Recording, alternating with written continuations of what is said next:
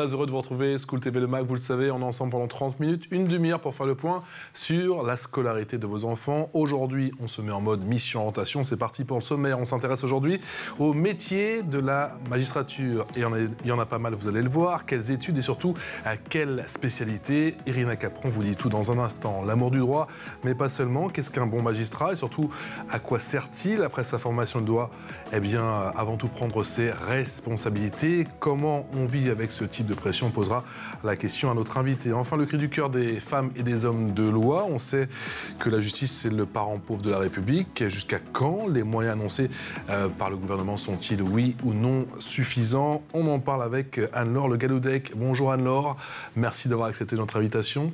Je rappelle que vous êtes vice-procureur de la République près le tribunal judiciaire de Lille. C'est parti pour la loupe.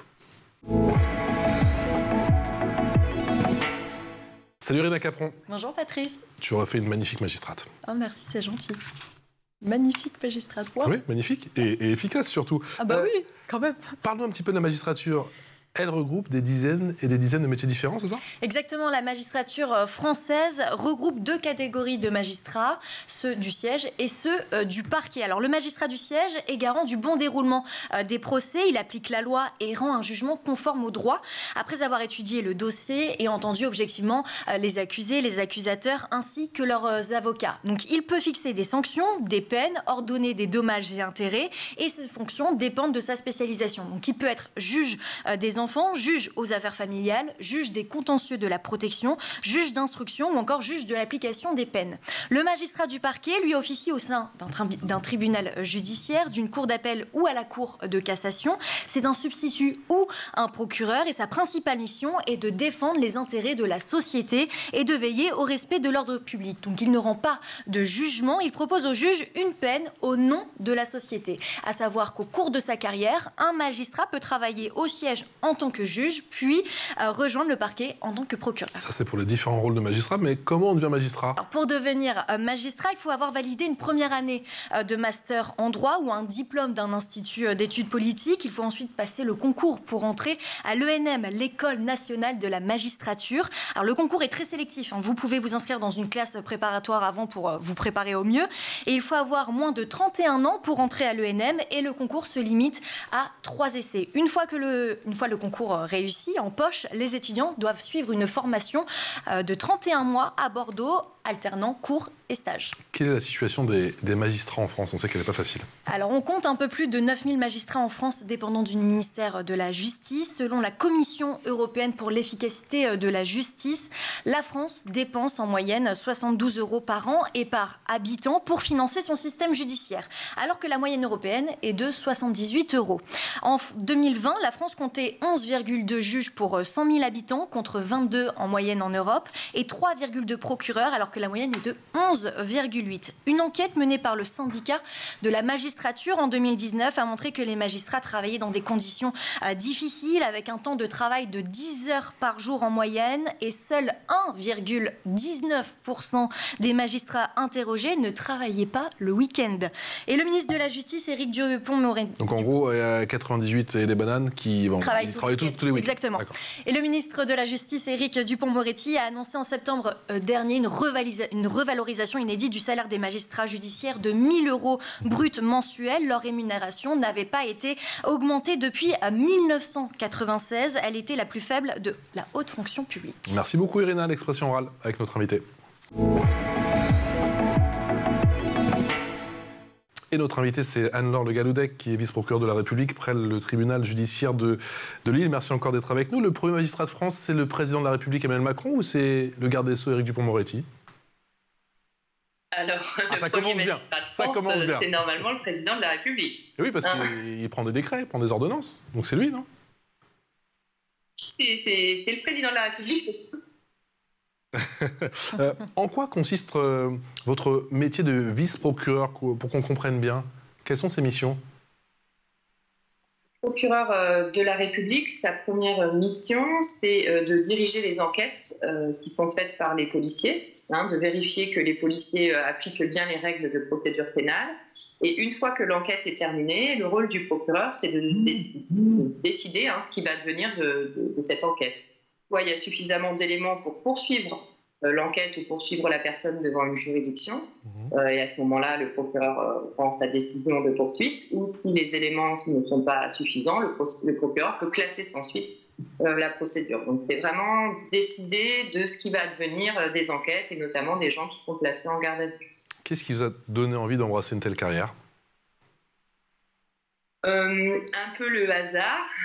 J'ai fait des études de sciences politiques. Il fallait euh, trouver un métier à la fin de ces études. J'ai rencontré euh, un magistrat qui m'a dit que pour ce métier, il fallait avoir un fort caractère, il fallait aimer prendre des décisions, il fallait ne pas avoir peur du travail, ne pas avoir peur de travailler dans l'urgence je me suis dit que tout ça, c'est des choses qui me, qui me parlaient. Donc, euh, du coup, c'est cette rencontre avec un magistrat qui m'a poussé vers cette, euh, cette carrière.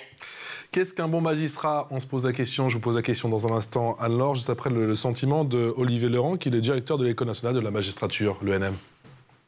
Pour être un bon magistrat, il faut d'abord et avant tout, c'est un préalable, être un bon, voire un excellent juriste. L'école nationale de la magistrature est une école d'application qui a pour objectif de transformer des étudiants, mais aussi des publics en reconversion professionnelle en magistrats. Il faut savoir qualifier juridiquement une situation de fait, rendre une décision, mener un entretien judiciaire, requérir à l'audience, présider euh, une audience. Mais Pierre Drey, ancien premier président de la Cour de cassation, disait que pour être juge, il fallait aimer écouter, essayer de comprendre et vouloir décider. Je crois que c'est cette euh, alliance entre la technicité, la maîtrise du droit, car le magistrat est là pour appliquer le droit, et des compétences liées à la déontologie, à l'humanité du magistrat, eh bien c'est cette alliance qui fait de vous euh, un bon magistrat. Alors Le Galoudec, qu'est-ce qui fait un bon magistrat d'après vous? Euh, je pense qu'il faut avoir une capacité, alors effectivement déjà des, capacités de travail assez importantes, être un bon juriste, ça c'est sûr, mais il faut avoir aussi une capacité d'écoute euh, assez, euh, assez importante. je pense qu'il faut prendre son métier au sérieux, puisqu'on a un, un, pouvoir sur la vie des gens assez important, mais sans se prendre trop au sérieux soi-même. Je pense qu'il faut également ne pas avoir peur de prendre des décisions, hein, parce que c'est vraiment le, cœur du métier de magistrat, c'est de trancher en fait et en droit. Donc, euh, ne pas avoir peur de, de s'affirmer, de prendre des décisions. Une question qui revient souvent quand on regarde effectivement euh, Internet, c'est est-ce qu'il y a une différence entre juge et magistrat? Alors en fait, euh, comme l'a indiqué Irina, il y a deux types de magistrats, deux espèces de magistrats. Il y a les juges et les procureurs. Donc les procureurs sont vraiment là pour parler au nom de la société, pour diriger des enquêtes et poursuivre les gens. Et ensuite, il y a les juges qui sont là pour euh, prononcer des, au pénal en tout cas, hein, prononcer euh, des peines et des sanctions et trancher les, les, dossiers qui leur sont amenés par les procureurs. Vice-procureur, vous me diriez que c'est avant tout un métier passion? Oui, alors il faut sûrement être passionné euh, pour euh, faire ce, métier parce que c'est un métier un peu fatigant. Euh, comme vous l'a été indiqué, on manque cruellement de procureurs, donc ce qui fait que le nombre de dossiers par procureur est très important. Donc il faut aimer ce métier, il faut aimer les gens. et une fois de plus, ne pas avoir peur de prendre des décisions, puisque le métier de procureur, c'est vraiment prendre des décisions au, quotidien qui ont un impact certain sur la vie des gens. Irina. Oui, Anne-Laure, en 2021, plusieurs magistrats ont dénoncé dans une tribune euh, une justice qui n'écoute pas et qui chronomètre les audiences. Est-ce que ça a un peu changé en deux ans ou pas du tout? Ça n'a pas encore changé, hein, puisque le nombre de magistrats n'est pas encore à la hauteur euh, des, autres pays européens, comme vous l'avez indiqué. Euh, et je pense que les magistrats s'en désolent. Euh, il y a effectivement beaucoup d'audiences avec énormément de dossiers. On, essaye de prendre le temps d'écouter les gens. Euh, malheureusement, ça fait qu'on a des audiences qui finissent extrêmement tard. Euh, on n'est pas encore à la hauteur des standards européens. n'est pas faute pour les magistrats d'être plein de bonne volonté, mais tant que les moyens ne sont pas là, c'est effectivement compliqué de rendre une bonne justice. Comment vous travaillez justement pendant ces enquêtes avec la PJ Comment tout ce petit monde s'organise? Comment ça s'articule? Beaucoup par téléphone. Il euh, faut savoir qu'un magistrat du parquet passe une bonne partie de ses journées euh, de travail au téléphone avec les services de police qui euh, lui rendent compte. Donc, par exemple, quand quelqu'un est placé en garde à vue, forcément le procureur est avisé par téléphone et le policier nous raconte l'enquête par téléphone. On lui demande de faire des nouveaux actes si ça n'a pas été fait, une enquête de voisinage, une expertise, des constatations. Et après, une fois qu'on estime que le dossier est complet, on rend notre décision. Donc beaucoup, beaucoup de téléphone. Il faut aimer être au téléphone dans ce métier. On travaille forcément main dans la main avec la police ou parfois il peut y avoir des... un peu de friture sur la ligne, si je puis dire? Alors, euh, un procureur ne peut pas ne pas aimer la police, hein, puisqu'on travaille au quotidien avec les services de police et de gendarmerie euh, en confiance. Euh, en revanche, le rôle du procureur, c'est de contrôler hein, l'activité des services de police et de gendarmerie. donc, il y a parfois des frictions, hein, forcément, sur les orientations. On va classer sans suite des affaires que la police peut-être aurait préféré qu'on poursuive. en tout cas, le rôle de chacun est clair. La police judiciaire, elle agit sur les instructions du procureur. Le procureur n'est pas là ni pour plaire ni pour déplaire à la police. Il est là pour euh, diriger l'enquête et euh, travailler euh, main dans la main avec la police en confiance. Vous me dites si c'est trop indiscret, Anne-Laure, quel a été le moment le plus difficile dans votre carrière? Ouh là là, c'est compliqué cette question.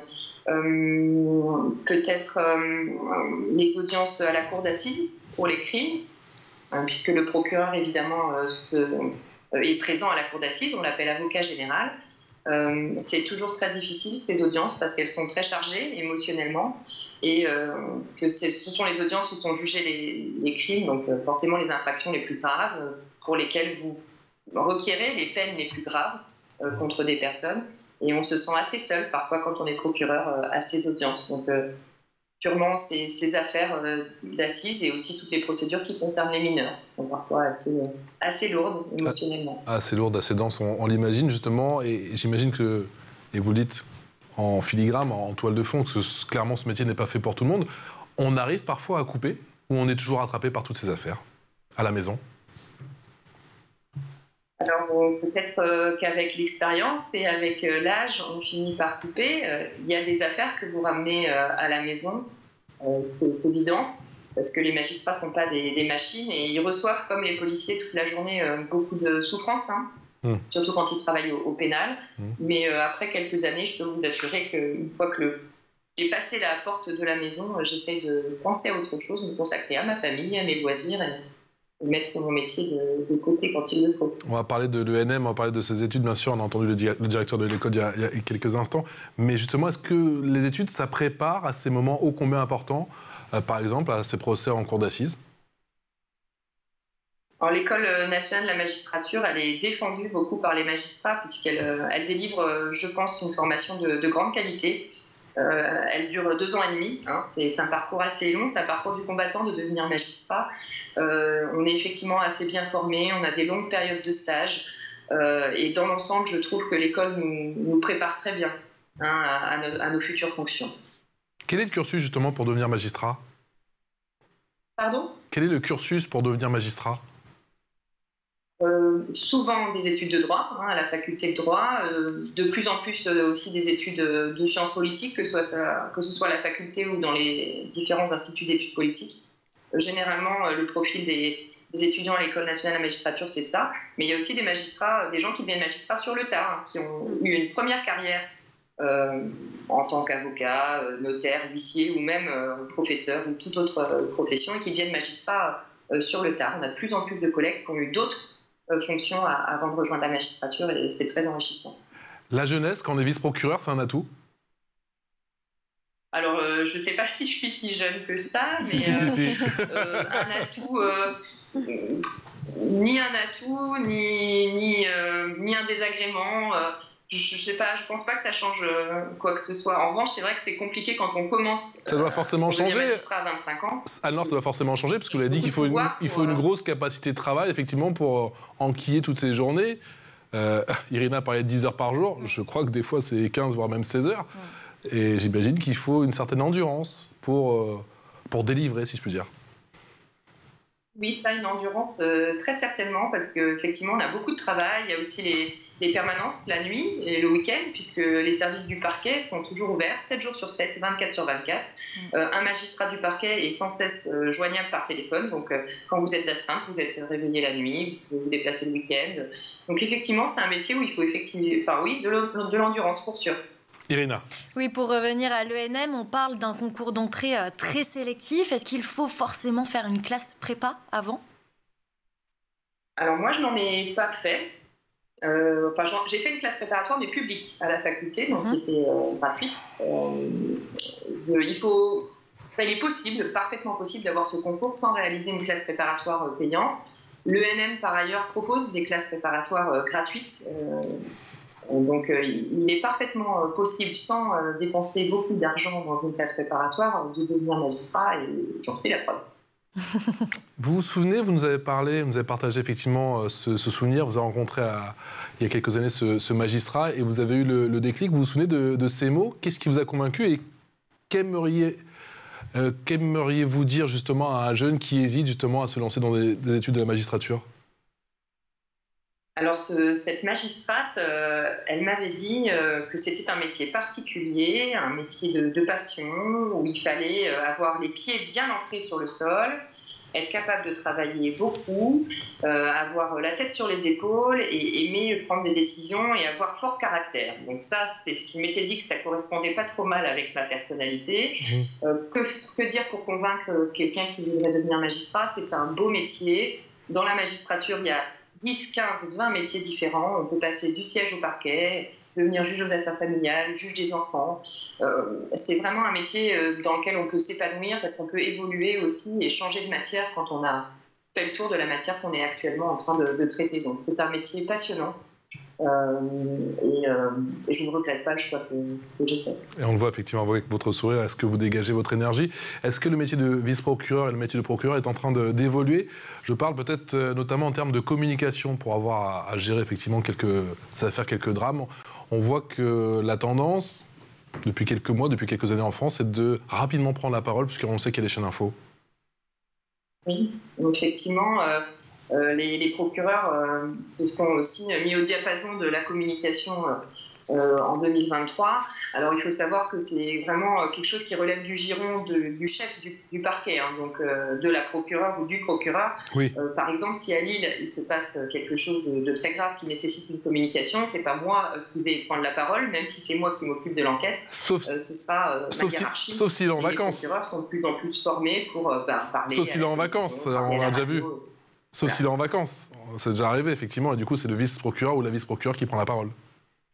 Ça peut arriver. Moi, ça m'est arrivé aussi de prendre la parole quand j'étais dans un plus petit euh, parquet, quand j'étais à, Saint-Omer, un, petit parquet où on était trois. Mmh. On est quand même préparé à l'école, on fait du euh, web training, euh, ce genre de, choses pour être capable de, parler devant la presse, mais c'est pas forcément là où on est les plus à l'aise généralement. Alors, Le Galoudec, est-ce qu'on apprend à trancher, à prendre des décisions, ou est-ce que c'est quelque chose qu'on a en soi? Non, c'est quelque chose qui, s'apprend. Alors, il faut quand même avoir une. dit, euh, ne pas avoir peur de prendre des décisions, mais c'est quelque chose qui s'apprend avec l'expérience.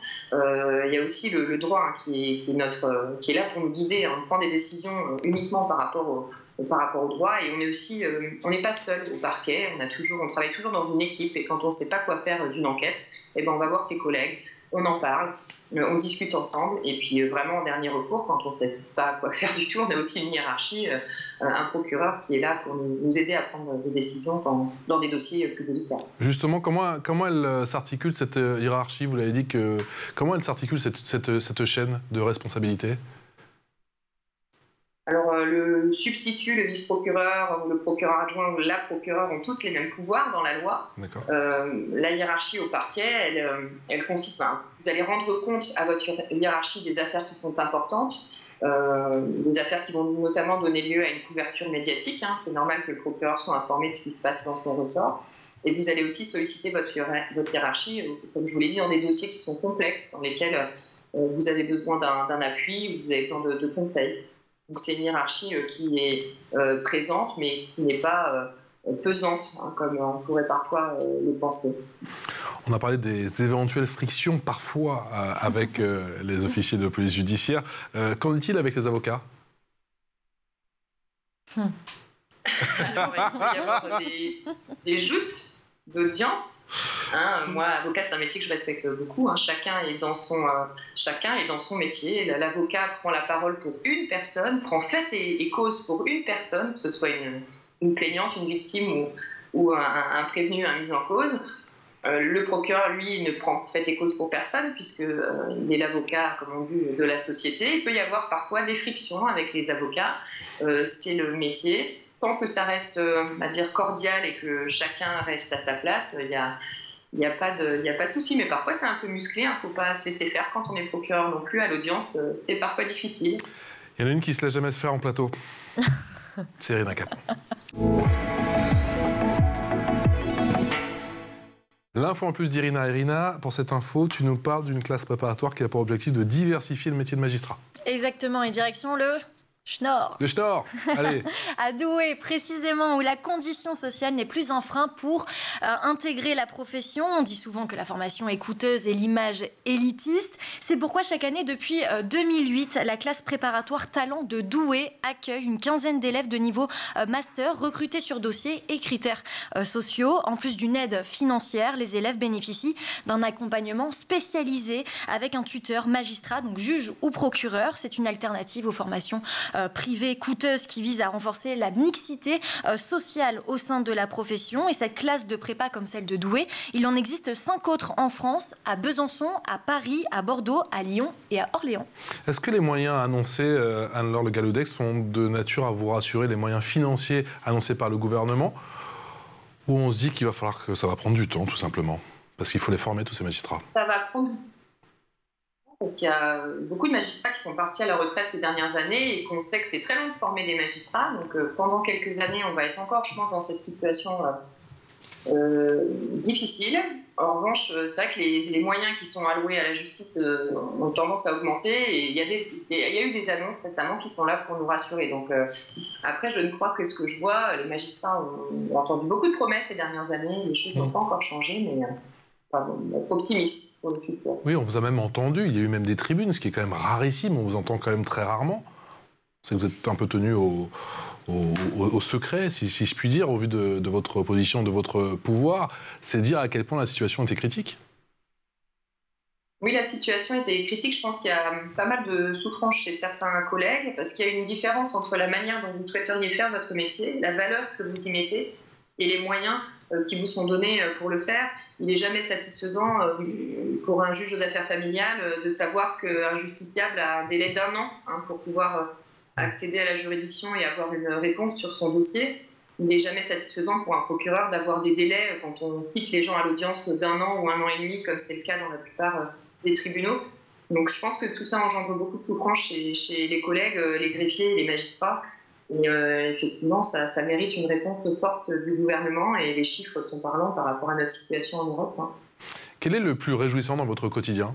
Peut-être le fait que les journées ne sont jamais pareilles? Effectivement, les journées ne se ressemblent pas. Vous ne savez jamais euh, ce que vous allez faire, euh, les, dossiers qui vont vous être soumis. Moi, je m'occupe de violences intrafamiliales.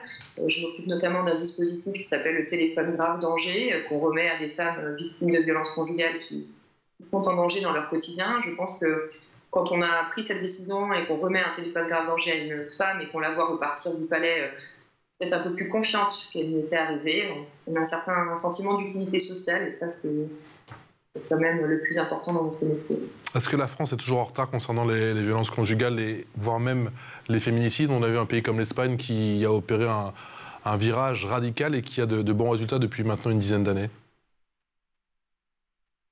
Il y a euh, beaucoup de, beaucoup de dispositifs qui existent aujourd'hui en France, euh, des policiers qui sont spécialement formés, des magistrats euh, et des juristes assistants, comme dans mon équipe, qui sont spécialement formés à ces questions. Le retard législatif a été comblé puisque de nombreuses lois ont été prises pour créer le téléphone grave danger, le bracelet anti-rapprochement. Donc ce retard, il, est en passe d'être rattrapé et je peux vous assurer que ces questions sont prises au sérieux et avec beaucoup de conviction par les policiers et les magistrats qui s'occupent de, ces procédures de violence intrafamiliale. Alors, le, Galoud, euh, le Galoudec, je vous ai tout à l'heure demandé votre plus mauvais souvenir dans votre carrière. Je vais vous demander le, le meilleur, parce que j'imagine qu'il y a aussi parfois de, belles histoires, en tout cas.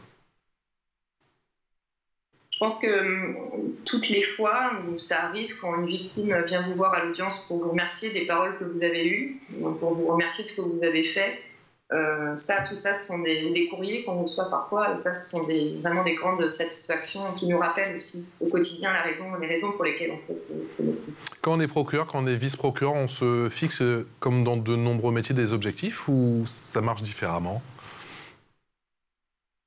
Alors, on se fixe des objectifs, oui. Déjà, être à jour de son courrier, pouvoir répondre dans les meilleurs délais aux justiciables, ne pas accumuler de retard dans le traitement des procédures, parce qu'on sait qu'il y a des gens derrière qui attendent. Donc oui, des objectifs, on, en a.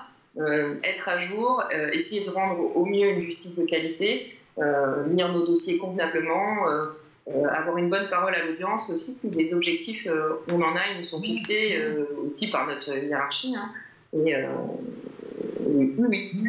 Je culpabilise un peu, Madame la vice-procureure, parce que je sens votre téléphone vibrer depuis tout à l'heure. Je sens que y aura pas mal de, de dossiers auxquels vous allez devoir répondre assez rapidement. On arrive à prendre des vacances dans ce métier ou pas? Oui, oui, on en prend. Euh, d'ailleurs, c'est un des, un des avantages de la fonction, c'est qu'on a beaucoup de travail, mais on a aussi beaucoup de congés. Hein. Euh, jusqu'alors, c'est vrai que la rémunération, comme vous l'avez indiqué Irina, pardon, n'était pas à la hauteur des autres euh, fonctionnaires, mais on compensait ça par des congés assez importants. Donc des congés, on en prend. On ne peut pas forcément toujours les prendre quand on veut, mais on en prend sans souci. Merci beaucoup Anne-Laure Le Galudec d'avoir été avec nous pour partager votre passion concernant la magistrature. Je rappelle que vous êtes euh, et je veux dire précisément la vice-procureure de la République près le tribunal judiciaire de Lille. Je ne savais pas qu'on disait comme ça, près. Moi non plus. Voilà, j'ai appris quelque chose aujourd'hui. Un grand merci à vous. Merci d'avoir euh, partagé votre passion et euh, votre métier qui est ô combien important. Toutes ces enquêtes, on imagine, qui sont parfois quand même très difficiles. Salut Irina. Merci à vous. On se retrouve demain, même chaîne, même heure, pour de nouvelles aventures. Ciao.